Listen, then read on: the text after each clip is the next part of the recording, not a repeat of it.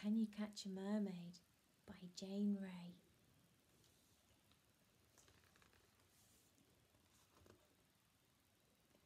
Have you ever seen a mermaid? Have you ever seen a shimmering tail and some strands of greeny gold hair turning in the water? Maybe not. But did you know that sometimes, just sometimes, a mermaid can turn her fishy tail to legs and come ashore? As long as she keeps hold of something from her ocean home, she can return to the water. But if she should lose that something, she is trapped on land forever. This is the story of Eliza, who really did see a mermaid. Eliza lived with her father Tom, who was a fisherman. Just him and her, comfortable and close, taking care of each other. You are my little dolphin, he would say, holding Eliza tight in his arms, like the harbour walls protecting the little boats. Eliza was shy and liked to play by herself, searching in rock pools and collecting pebbles and shells. Sometimes Tom worried about her. Why don't you go off and play with the other children? he would say.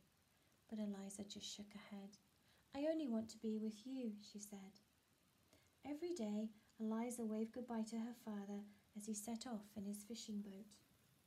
What shall I bring you for tea today, little dolphin? he would say. Sardines or skate, hake or herring, winkles, cockles or crab? And every day Eliza answered, Can you catch a mermaid? One evening, as Eliza was waiting for the chug chug chug of her father's boat, she saw a girl of about her own age playing at the water's edge. They smiled at each other shyly. The girl didn't frighten Eliza like the other children at school. Instead, Eliza felt curious and wanted to talk to her. The next morning, when Tom set off in his boat, the little girl was there again. She gave Eliza a shell that was pink and gold, and when Eliza put it to her ear, it sang. Can I be your friend, Eliza? Come and play with me, where the dolphins leap and the seagulls cry, and the sand becomes the sea. The girls played together all day. By the time evening came and it was time for Eliza to go home, it felt as though they had known each other all their lives. Her name was Freya, and she had long, greeny gold hair and pale, pale skin. Her eyes were the colour of stormy seas, and all about her was the scent of salt and rock pools. Around her neck she carried a beautiful little mirror inlaid with pieces of coral and mother of pearl. Sing with me, Eliza, Freya called as she taught Eliza songs so beautiful that they had to be shared. Dance with me, Eliza, she said, and they danced together like a sea breeze. Eliza didn't know where Freya came from or where she went to at night. Sometimes she was there, and sometimes she wasn't, and then Eliza was as lonely as a sandpiper. But one morning, Eliza found Freya crying running up and down at the water's edge, wringing her hands. I've lost my mirror. It's gone. It's gone. Oh, please help me to find it, please, for I can't go home without it. Without it, I can't ever go home. And then, then Eliza realized who Freya was. Tom had told Eliza all about the mermaids, how they come on the land and go back into the sea if they keep something special from their ocean home with them. Freya was a mermaid and the little mirror was her special thing. Eliza took Freya's hand. Don't worry, she said. We'll find your mirror. Eliza and Freya searched all day, back and forth like beachcombers along the shoreline, but they couldn't find the mirror. That night, Eliza took a friend home, and she and Tom cared for the little mermaid as if she was their own. Deep in the ocean, Freya's mother was looking for her daughter, and as the waves whispered the terrible news that the mirror was lost and with it her child, her grief was great and unspeakable. Her little Freya! That night, terrible storms battered the coast where Freya was stranded.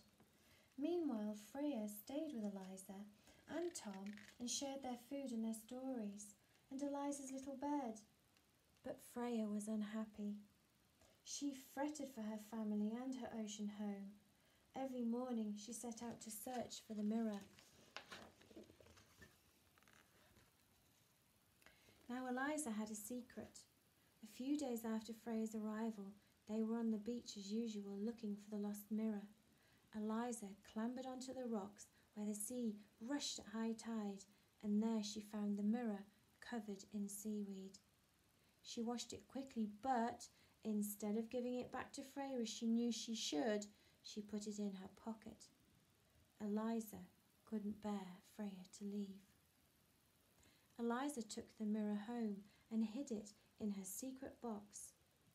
When she was quite alone, she took it out and looked at herself in the watery glass. I'll give it to Freya tomorrow, she thought.